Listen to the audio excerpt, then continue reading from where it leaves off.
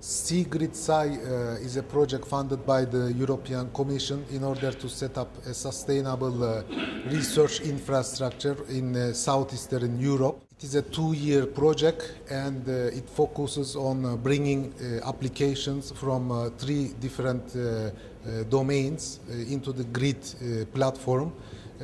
These domains are seismology, meteorology, and environmental.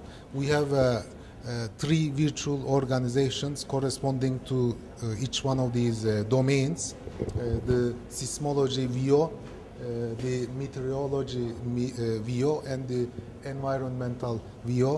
Uh, there are uh, a total of 16 applications from all these uh, three VOs. Uh, One of our duties is uh, to bring scientists with these applications uh, onto the uh, grid platform.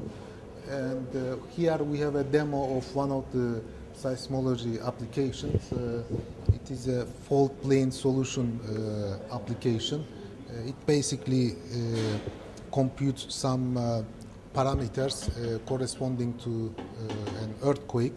It tries to predict the shape of the fault uh, plane uh, and uh, compute some parameters about the uh, fault plane. Uh, if you want to have uh, more information about the SEE-GRID project, you can uh, visit the site www.see-grid-sci.eu. Thank you.